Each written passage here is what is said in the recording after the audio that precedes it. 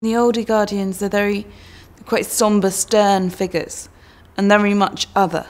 You feel that almost Miss Lucy is like a bridge between, and because she is younger and closer in age, and they seem they're very much keeping themselves emotionally and physically removed from. They they have this facade and this this um, mask that they put on, and it's all it's almost you know, it's almost plastic. You can't really get through, and they're not. They're they're very um, austere, and they have their set ways, and they have their rules.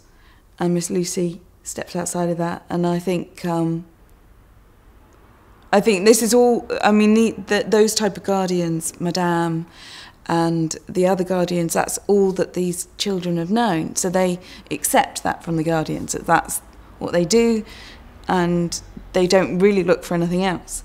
So Miss Lucy coming in being something different is quite unusual.